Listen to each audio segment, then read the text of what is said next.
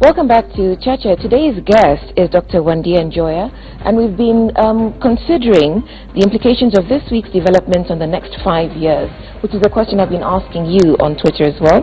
Um, this is uh, what some of you are saying. I think it's just the way government of Kenya is signaling that they mean business. The art of war is real. Concubines are being forged into warriors. That's from Kaizoku um, who says, We are the ar architects of our future, nothing is cast in stone. Vitalis, the worst is yet to come. Wait for the prince to be sworn in as a king. Um, Tom Duncan, Kenya will pay painfully for the blood of the um, two girls in the next five years. You remember the baby girl um, um, who was um, apparently clobbered over the head by police, and the girl who was playing on the balcony and was killed by a stray bullet. Um, Without a doubt, a massive economy um, growth. Uh, Kenyans voted wisely, no more prophets of uh, doom. Paul, wait till Baba speaks. Jomjue, conclusively, what it shall portend. Otherwise, the events this far uh, show the dawn of fascism. Nothing but a horror. It's like we're going back to one-party state plus dictatorship. We've reflected on that. Um, you know, President should not be referred to as opposition leader. He hasn't accepted defeat of an election which was not free and fair. Um, and again, the activities of this week may further divide the nation. I see the opposition disintegrated. Open and unapologetic dictatorship. Um, the can-do attitude. Again, you see the divisions between our viewers that we've been talking about um, on this panel. So you've talked about, um, you know, President Uhuru uh, Kenyatta, what sort of advice we would um, give him moving forward.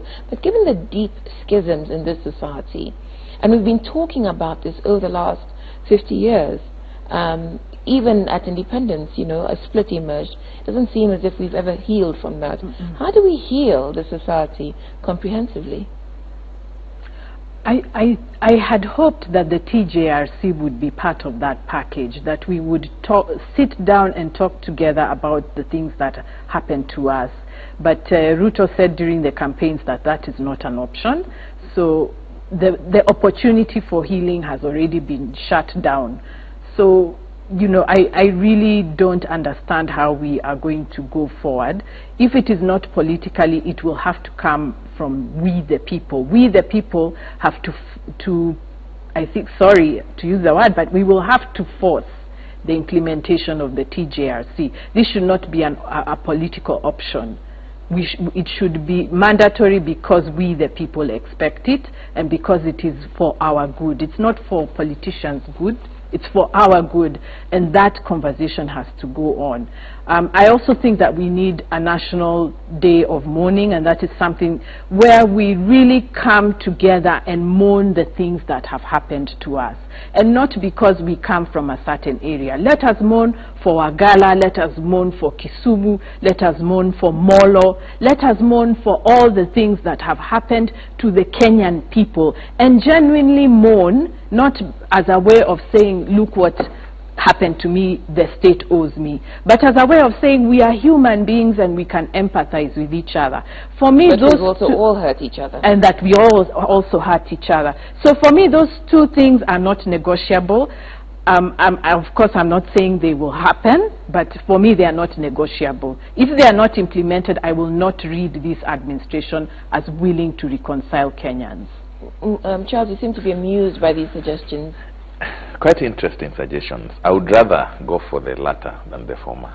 The day of mourning rather yes, than the, the day TJRC? of the mourning actually sums up. It's an executive summation of the TJRC. At the end of TJR, I mean, you have the, the reconciliation. This day of mourning would help reconcile all of us. If we start digging into who did what, where, when, to who, I think we'll be more divided than we are. Like uh, Mutegi alluded earlier on, the issue of land is so thorny. We will be evicting people from 10 generations backwards. I don't know where somebody will go.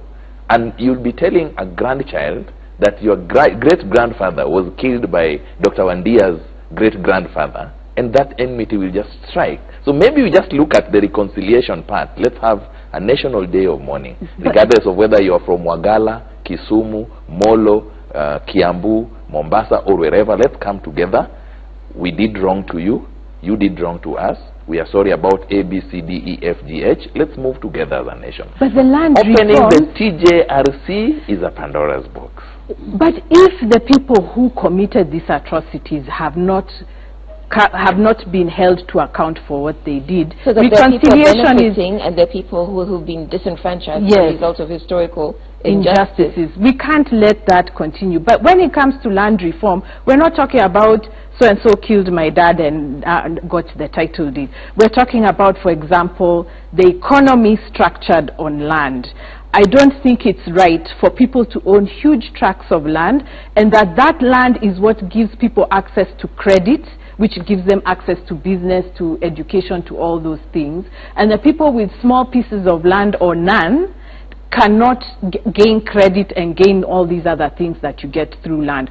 So we need to tax land, for example. We need to end land hoarding where people buy land and sell it without having developed it. Yes, land speculation. Those are the, the kinds of healing and reform that we need when it comes to land. It's not looking for who owns the title deed and how did he get it. We need comprehensive reforms which which remove land speculation and and growth of wealth on, only based on land because when you have people getting rich on something they did not create then you, you, you discourage the opportunities for young people who have great ideas and very energetic hands to, to, to also contribute to the economy through their ideas and their labor. What do other countries do? What does Britain do? The, the, the, the, Buckingham, Buckingham Palace, for instance, the lords who are there, they have a lot of land. Not everybody can... Buckingham Palace is the seat of the monarchy. Yes. Uh, you're talking about the House of Lords. Yes. So Um, these people own a lot of land. I agree with you, land should, should be taxed. I agree with you, people should not own land which is empty, doing nothing about it. But not everybody can own land. Kimunya trying to to, The to, former to do minister, some reforms. Yeah, the former minister. He, he, he didn't he couldn't succeed succeed because many people people feel I need even if it's one eighth, it is mine. Yeah, because that is the model of power that we Yes. have seen. If, you, if you're a huge landowner, you gain access to power. And that's what we want to remove. We want to encourage young people to know that if I work hard and if I have good ideas, I can actually make it. I can go to the bank and say, I have this prototype, can you sponsor it? And that is how they can make money. But right now, what do the banks ask for? A title deed. Where are people going to get title deeds? Before you even move to, to ownership of property and wealth and progression economically, uh, Mutegi gave the example of the UK where only a few own land. The question is, what about the few who don't own land or the many who don't own land? Do they lack basic social, Social services. If you can give the basic social services to every Kenyan so that every Kenyan feels a right of ownership on this country, every Kenyan gets justice, not a chicken thief being jailed for 18 months and, and, and somebody who steals billions walking away because he's perceived innocent until guilty. That is the crank of the matter. And, and when you look at young people, young people are about between 20 to 25. That is when people are trying to make a living. What are your basic ex- and you want to get married, for example? What are your basic expenses going to be? Your, you need to go to hospital because um, you, you, you have a baby coming, a baby or two coming, and you need education for your, your small kids. So those are the big expenses of young people. If we can sort that out for them, then they wouldn't have to worry about paying these expenses and they can put more of their energy and creativity into getting gainful employment. But right now, we don't have those services and it seems that if you want to get good education and good health care, you have to be rich and to be rich, you need land and the cycle goes Or on. you need to have one of your own in a seat of Or- power. Yes. So and so that's why we celebrate keep fighting. So this thing that you, this idea, the, the National Day of Mourning that we're talking about, um, is that likely to happen given the current, the, the, the incoming parliament? They're jostling for positions of leadership. Um, they're young people whose names are But being to me, touted. that's a pipe dream. It won't happen. Because whether you are in NASA or whether you are in uh, Jubilee, those people who are, they are, they are, they are landed, they have, they have money. As So they're not going to call the national day of class. mourning. Mhm. He- he- She's calling them the political class. It won't happen. And that's why I'm saying the Kenyan people have to force this. And it was one. her And, and, and, and so my question is, given the incoming parliament we have, Mm. uh, which is already jostling for positions of leadership, you know, um, I think the various majority leaders are fine in both chambers, but, you know, speakers, I think, might not be, uh, um, those positions might be up for, for grabs. And do you see more young people, more women um, being um, um, uh, put forward for those positions? Are we likely to see a parliament which would agree with this panel that we do need a national day of mourning, that we do need to he- heal the schisms within our society? As? I said before, if you listen to what Duale said, we're going to have, to have a, a terrible parliament. Hmm. it will be it, will, it will be worse than the, the, the, the, the 11th one. every The 12th. parliament is successively worse than its If predecessor. that's what I see myself happening, because they have the majority, they are going to impose themselves. As I said, even if they want to change the constitution so that the President Kenyatta can have a third term, they probably. I have seen people suggest, as of now, even before the sworn in, we, sh- we should go to one party state so that we can do development. So that Uhuru can have a chance and Jubilee can have a chance to develop the country, to bring more railway to, to Kisumu, which is nonsense.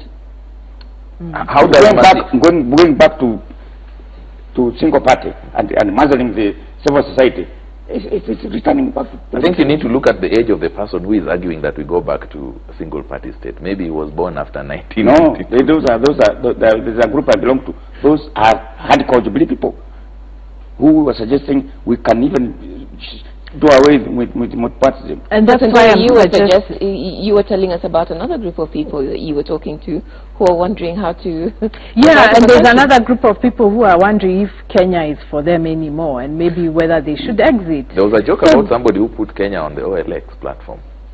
Sell Kenya, give everybody their shares. Yeah, so that it has reached that level. It has reached that level. For me, I feel the National Day of Mourning will be will have to force it on politicians the way we forced the new constitution. The politicians resisted the new constitution for 20 years. Eventually, the, the, the people of Kenya prevailed. So even the, for this idea and for the TJRC, which I think must be done, we must we have to force it as the people of Kenya and the constitution our lovely new constitution which is about to which might be mutilated gives us the right to push this agenda and we can You do know, it if, if, if you ask me about what I would advise uh, President Uhuru when he's sworn in, you know he can implement the TJRC without even saying it. Not one, one thing after the other, just like they, they, they settled the uh, internal refugees, one after the other, although, I, I, it, although even that was a shout. it was skewed. It, yeah. So he can do that if you want to leave, leave a legacy. You, you don't even have to have a day of uh, peace. You can go to those fellows who are Magwagala people, sort them out privately, no we don't want privately or, because or without an, without an we don't want privately because they were killed publicly by public forces. So the whole country needs to mourn hmm. for them. This is not a private arrangement. And in fact, actually, some of us who are concerned about Jubilee coming to power, we were concerned about this privatization of every process. We, we voted for the Constitution because we, the people, were at the center of our processes. We want to be back there. We don't want private capital and private businesses running, running the show because that's not what we voted for. Unfortunately, this is a capitalist country. Mm -hmm. the, the, the, the, rich guys are the ones can't you see who is, who is, who is financing who? When you see, when you see Jubilee, you see, you see listen, big listen to our, ones. li- That's listen to our viewers. Huh? We have just concluded a successful national election. Why are you so negative about the newly elected government? Stop inciting the nation. Words like mourning are pathetic coming from a lecturer. Why not use consultation, National Day of Consultation? Um, are we prophets of doom, only seeing the negative side of the popularly elected government? Let's be positive, professional, and encouraging, focused and people with good intentions for the country. We are healing, not blaming. That's Bina. Uh, please thank Dr. Njoya for speaking her mind. We need some more of her class here. Kenya is headed for the most difficult period of its history. Who can vote a government where public sector is literally dead and majority of Kenyans cannot afford services in private schools, uh, primary, secondary, university and private hospitals to center. We need leaders like Dr. Njoya who see issues um, positively, unlike some analysts. Um, but Emily, Emily is also, I think, um, going into some uh, tribalism uh, there. Um, yes, that is what our viewers think about uh, mourning. I It's, think it, it's very important, and, and uh, I seem to buy into the idea of Dr. Njoya that we need a reconciliation. We don't need. Uh, where I, d- I disagree with her is the implementation of TJRC, whether private or public. I think what we know as a country is that we have offended uh, each other in various ways. The government has an obligation to ensure that there is justice for every Kenyan, whether they are the private or 44% or the 54%. The reason why the 54% are celebrating and the 44% are mourning or are sad or are claiming victory that they are saying was denied from them is because of what Mutegi said earlier. The issue of you got it, you have it. And yet we are one country. We need to appreciate the fact that we are one country at the beginning. We need to appreciate the fact that we need each other. You know, sadly enough, Udwak, when we buy sugar, the price of sugar is the same for the, the 54% and the 44%. When there are lack of social amenities, for, I mean, go to uh, Mukuru Kwayaba, for example, and do a, a survey. How many 54% will you find there? And how many 44% will you find there? When you go to Runda, how many 44% will you find there? And how many 54% will you find there? So the government has an obligation to make sure that justice prevails for everybody. But first of all, we have to accept that we have erred to each other and we say sorry and we move on. But do, Okay, do, you, do, you, do you trust what uh, the president said? He is extending a hand of friendship. He wants cooperation. Now you are suggesting that he should call uh, Raila and uh, no, no, no, no, meeting. At, but it, it is for Raila to respond. He hasn't responded and say, okay, is he accepting or uh, uh, not accepting? That can't. It, do you think it's genuine?